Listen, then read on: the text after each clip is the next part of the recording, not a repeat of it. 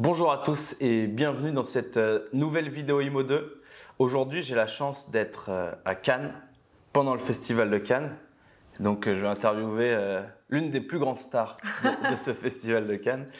salut Charlotte, comment tu vas? Salut Vincent, je vais très bien et toi?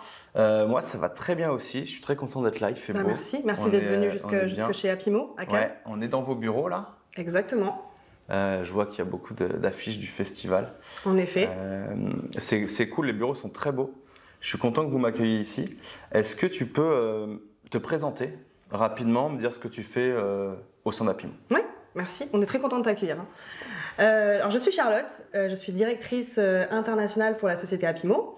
Ça fait maintenant 4 ans que j'ai rejoint Apimo et je m'occupe donc du développement à l'international et de tous nos grands comptes agences de luxe avec lesquels on travaille déjà, donc depuis quelques années, euh, et les nouvelles qui, qui, vont, qui vont bientôt nous rejoindre. Ok, du coup, tu as une bonne maîtrise de l'immobilier de luxe, en tout cas de la partie euh, logicielle qui est liée euh, à l'immobilier de luxe. Mhm. Est-ce que tu peux me donner un peu les spécificités justement de, de l'immobilier de luxe Qu'est-ce qui fait la différence? Au niveau du logiciel?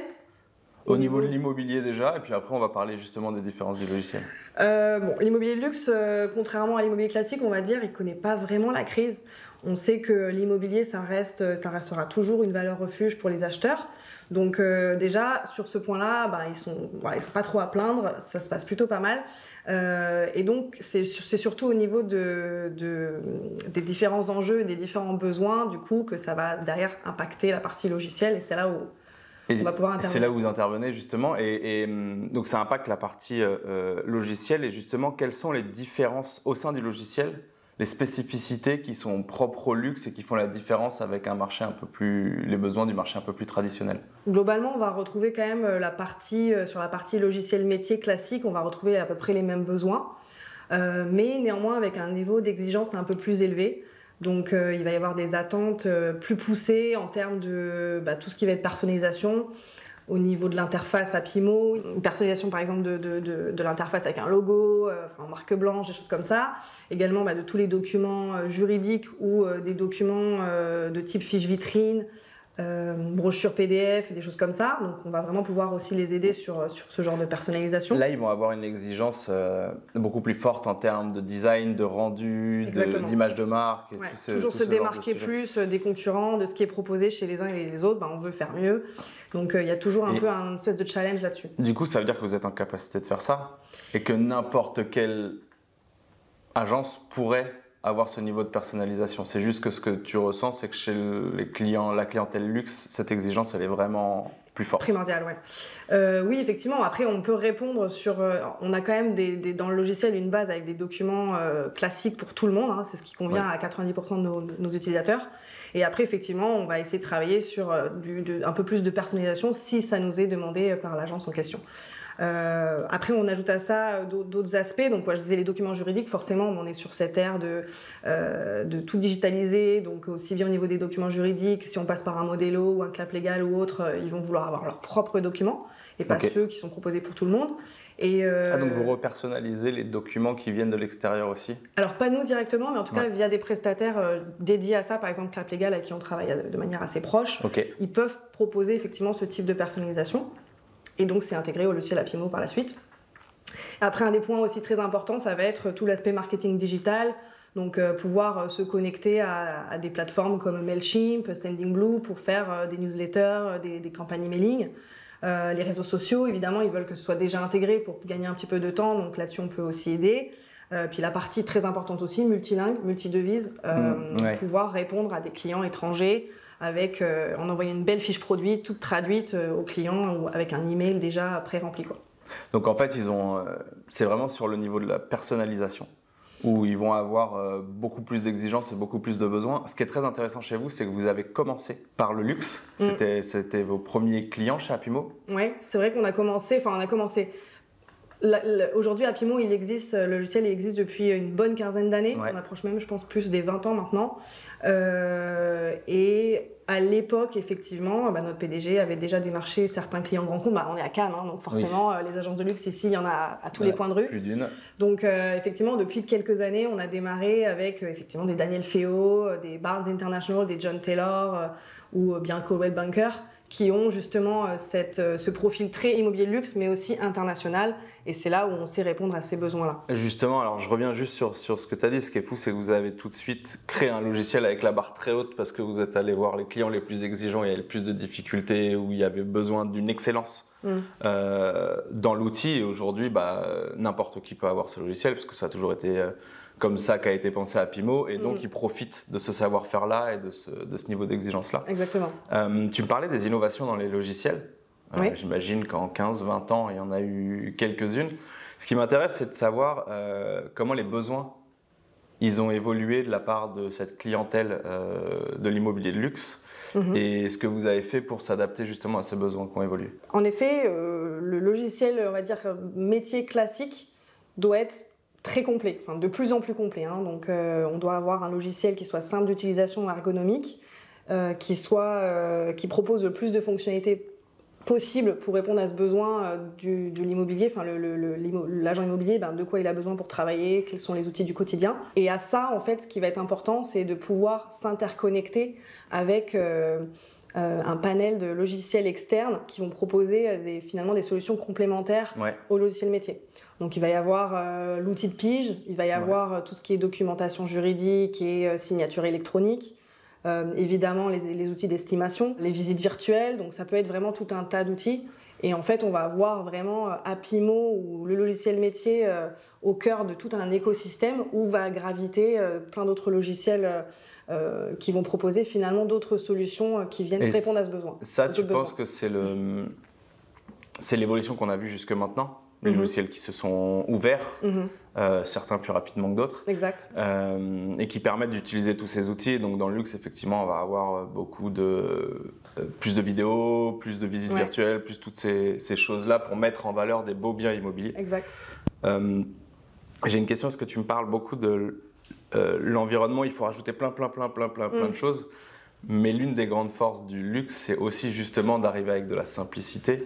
Mm-hmm. Et si tu veux transmettre de la simplicité à tes clients, j'imagine qu'il faut que ton outil aussi soit le plus simple possible malgré tout ce qu'il peut y avoir dedans. L'interconnexion, ouais. Comment vous avez traité ça et euh, Ça reste le, cœur du, logiciel, en fait, d'avoir un outil qui soit simple d'utilisation, facilement euh, compréhensible par tout le monde et, derrière qu'on puisse, pour autant, en plus de, des besoins métiers classiques, rajouter, euh, rajouter les autres briques métiers euh, qui viennent compléter euh, la, profession de l'agent immobilier. Vous, avez, je veux bien que tu me parles un peu d'Apimo, ça, ça, me fait penser à ça, mais aujourd'hui, vous êtes combien chez Apimo? Alors aujourd'hui, on est une cinquantaine chez Apimo. On est là les bureaux, donc les bureaux de Cannes au siège. On a aussi des bureaux à Paris. Et après, on a d'autres filiales dans d'autres pays, donc en Italie, en Belgique, au Luxembourg notamment, où on a aussi d'autres équipes le cœur de l'outil pur logiciel, il est fait ici. Exact. Euh, il y a combien de l'équipe de développement? Euh, L'équipe de développement, je dirais, ils sont une petite dizaine. Ok. Euh, après, il y a le web, parce qu'on propose aussi évidemment des sites internet.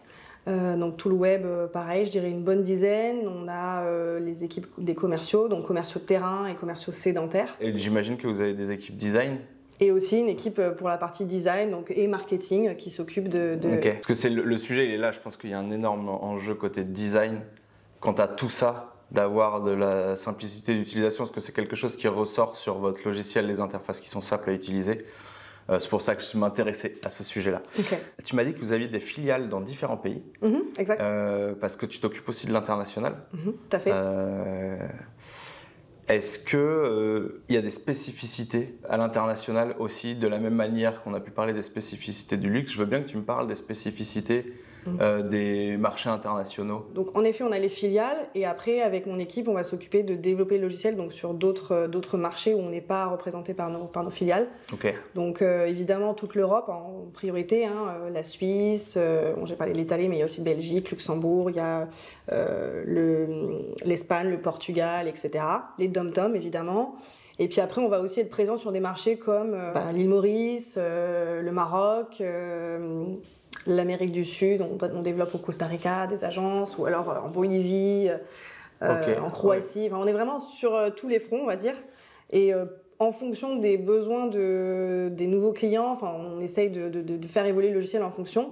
Et pour répondre à ta question, après, ben, les spécificités, ça va être quoi? Typiquement, dès qu'on ouvre, dès qu'on s'implémente, implante pardon, sur un nouveau marché, on va regarder, première chose, si le logiciel est bien traduit dans la langue du pays. Parce qu'on a un logiciel qui est multilingue, multidevise, on est présent dans plus de 30 pays avec donc, les, les, langues sont disponibles également. Mais par exemple, on vient de lancer pour une agence Christie's en Croatie, donc ben, il, faut, rajouter le croate, parce qu'on n'avait pas jusqu'à maintenant. Et après, donc au niveau des langues, on va rajouter la, la partie réglementation en vigueur du pays. Parce qu'évidemment, nous en France, on a plein de réglementations, les lois Carès, tous les diagnostics, etc. Et après, ben, dans chaque pays, c'est différent. Donc, il y, en a, il y a certains pays dans lesquels il y a très peu de réglementation et c'est super simple. Il y en a d'autres pays, euh, par exemple la Belgique euh, ou, euh, ou, Luxembourg ou la Suisse, bah, voilà, il y a aussi d'autres réglementations en vigueur. Et donc, au niveau des surfaces, nous, chez nous, on a le Carrez, en Suisse, ce sont les surfaces utiles. Donc, on va devoir un peu réadapter le logiciel en fonction de, ces, de, toutes ces réglementations en vigueur. Donc, on travaille là-dessus, qui est une partie assez importante. Ouais, j'imagine. et ensuite, il va y avoir évidemment la multidiffusion. Donc, ils veulent pouvoir diffuser leurs produits sur, les, différents portails. portails Exactement. Donc, là où on a déjà tous les portails en France, bah, on a aussi ceux à l'international. On est présent euh, comme je dis, dans pas mal de pays. À chaque pays, comment ça se passe? C'est tu as une agence qui va signer dans ce pays-là et du coup tu dois tout adapter d'un coup, c'est ça? Ou est-ce que vous, on essaie quand même de viser un peu euh, en amont les marchés qu'on veut développer en priorité. Et après, on a quand même plusieurs partenaires, des gros partenaires des réseaux comme Leading Real Estate Companies of the World, où on travaille aussi euh, beaucoup avec des franchises qui se développent à l'international ou des choses comme ça. Donc en fonction bah, de ces besoins-là, on va essayer de regarder quelles vont être les priorités et voir ce qui peut être fait et dans quel délai. Au niveau des portails, effectivement, on a plus de 400 portails avec lesquels on travaille quand même, donc c'est gros. Voilà. C'est là où j'allais en venir, c'est qu'à un moment, à force d'être dans tous les pays, vous allez être partenaire de tous les portails qui existent aujourd'hui. Il y en a euh, beaucoup, on, a, on, a, vraiment une bonne base, donc ça c'est assez chouette. Et après, ben, pour chaque nouveau marché, euh, tu vois, par exemple, on est en train de faire le Costa Rica en ce moment, ben, on demande évidemment aux utilisateurs de nous aider un peu, de nous mettre en relation avec les différents prestataires et de voir ben, ce qui va pouvoir, pouvoir être fait. Quoi. Donc euh, au fur et à mesure, on en ajoute de nouveaux et on fait grossir euh, nos, partenariats. Et c'est intéressant parce que ce que tu me disais, c'est qu'il y a quand même une nécessité d'adapter le logiciel constamment de la même manière que vous l'avez adapté à l'exigence du luxe. Il y a une nécessité de constamment adapter ce logiciel euh, à chaque pays, à chaque chose pour qu'il soit le plus complet possible mm-hmm. et surtout qu'il réponde à chaque besoin assez précisément, ce qui est quand même assez difficile, ce qui doit demander un bon savoir-faire derrière tout ça. Quelle est la, difficulté de hum, s'imposer dans un pays? Est-ce qu'il y a des pays où c'est plus compliqué que d'autres? Est-ce qu'il y a des pays où c'est plus simple que d'autres, où il y a beaucoup de concurrence? En réalité, euh, chaque marché est quand même assez différent euh, sur la manière de fonctionner. Sur les attentes, on va retrouver des attentes communes.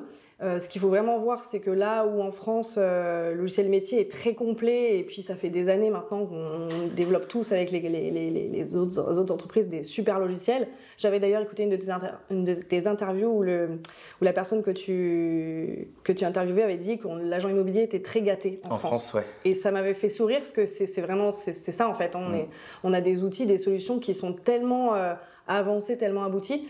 Euh, il y a encore quelques années, t'appelais euh, le Maroc ou euh, t'appelles même l'île Maurice ou d'autres d'autres dans les îles, ils n'avaient pas de logiciel en fait. Hein, ils étaient encore sur papier. Enfin, je te, parle de ça il y a même pas un an ou deux ans. Il y a encore même certaines agences qu'on appelle. Où, Ce qui est fou, c'est qu'on n'a pas, on pas cette impression en France. On a vraiment l'impression que tout le monde bosse avec un logiciel depuis 15 ans. C'est presque acquis en fait. Quoi.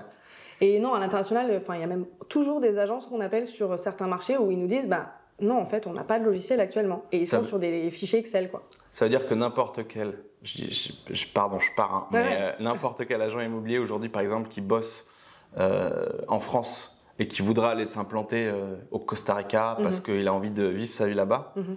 bah, s'il arrive avec ses méthodes, son logiciel, son outil, il est d'office plus performant que la plupart des agents immobiliers qui sont là-bas. Clairement. là, il y a un bon plan.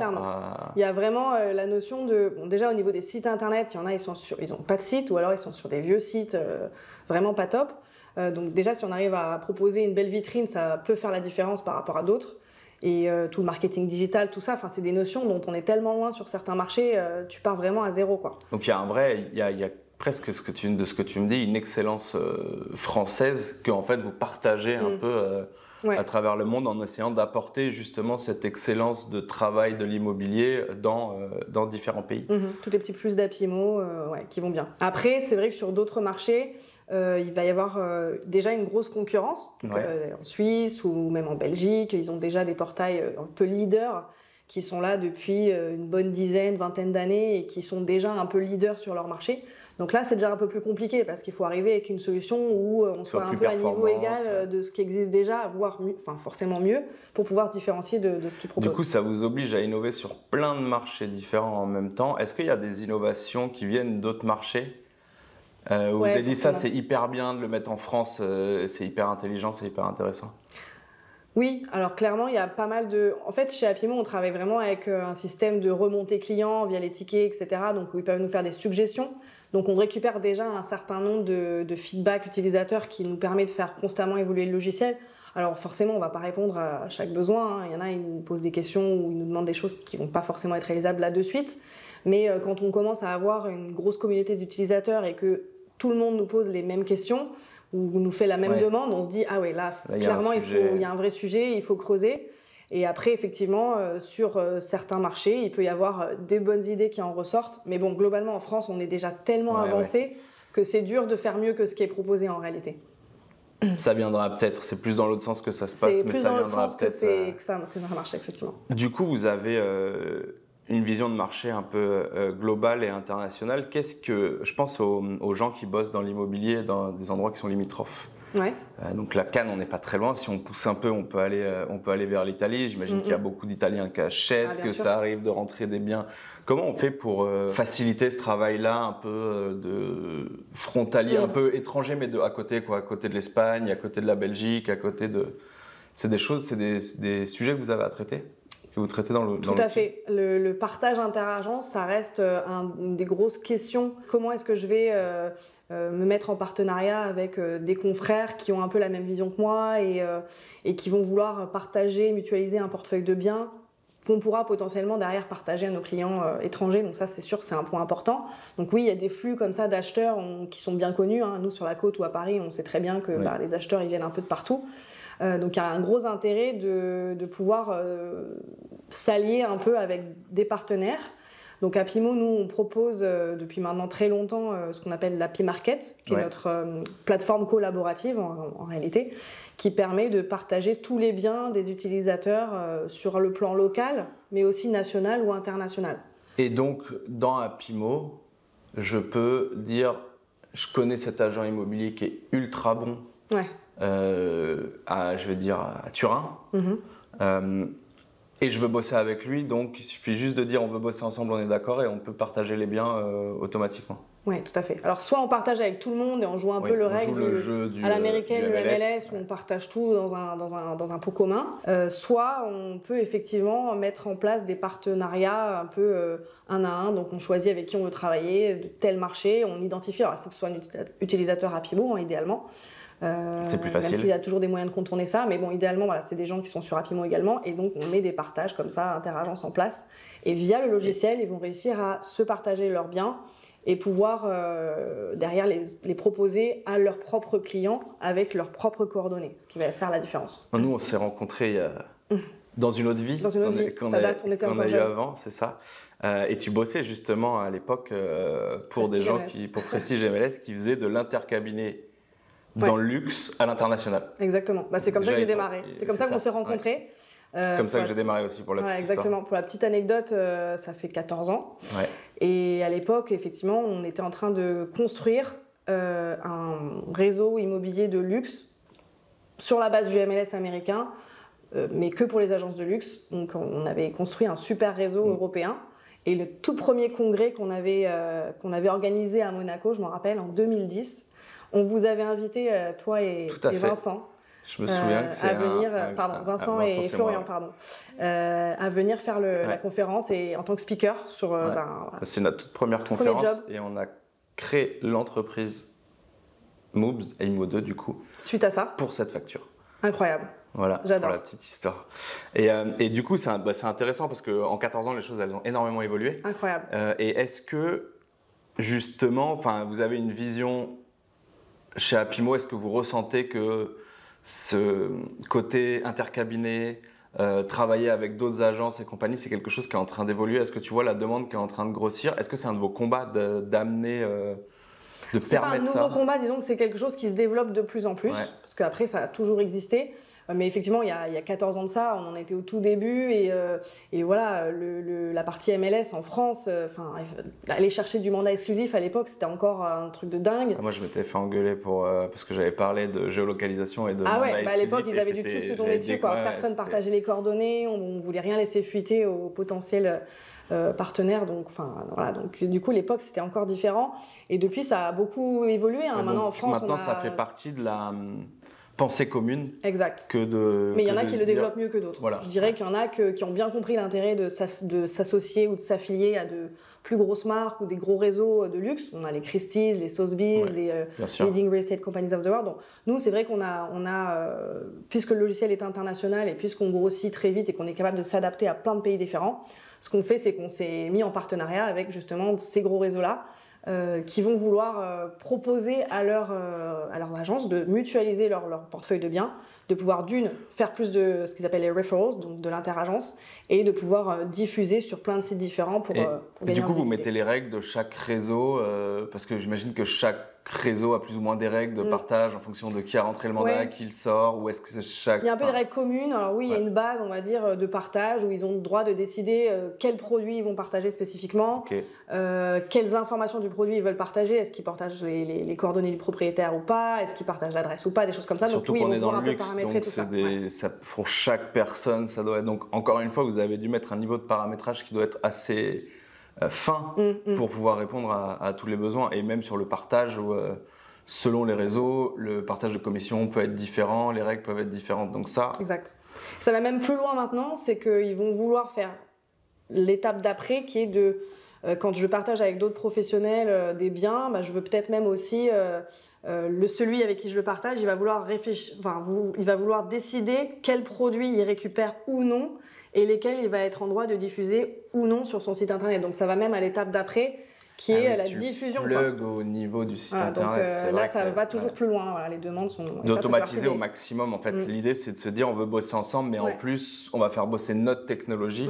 Pour que ça nous amène du business. Euh. Exact. Et au lieu que ce soit l'agence qui, euh, qui qui partage son mandat avec l'autre agence et que l'autre agence puisse pas trop décider ce qu'elle va diffuser ou pas, bah là, ça va plus loin, c'est que bah, l'autre agence va vouloir décider si oui ou pas elle récupère ce bien sur son site. Quoi. Donc on a toujours un peu un niveau de... Il y a trois niveaux. Quoi. Euh, je partage, partage pas. Et de l'autre côté, euh, je, l'aime, est-ce que je le diffuse et, euh, et, là, du coup, il y a toujours un peu un niveau d'exigence qui, peut être, qui peut évoluer. Quoi. Ouais, c'est un vrai combat parce que demain, il y, a un, il y a un sujet, je me pose bien la question de qui moi, je crois énormément au MLS. Je mhm. crois que ça fait du bien à l'immobilier quand on bosse ensemble et qu'on comprend qu'on est, euh, que c'est une grande profession qui, a de la valeur ajoutée quand elle bosse ensemble entre professionnels et qu'elle choisit les gens qui sont bons. Euh, ça permet d'éliminer aussi ceux qui sont moins bons et qui font un peu plus de mal à la profession. Euh, et effectivement, il faut qu'il y ait des outils qui soient hyper performants, pertinents. Et vous, du coup, de fait, vous êtes obligé d'aller continuer à aller plus loin, à percer le truc pour apporter de la valeur. Mais ça se fait un peu naturellement, en fait. Hein. C'est vraiment on est euh, en contact permanent avec tous nos clients. Donc on parle, on parle des agences de luxe, mais même une petite agence de quartier, elle nous fait ses retours, on l'écoute. Hein. donc en fonction des, remontées et des besoins finalement qui sont un peu prédominants, bah, on va décider ce qui doit être fait sur le logiciel en fonction. Et on arrive à tout le temps un peu se challenger et c'est ça qui est hyper excitant dans notre métier. Quoi.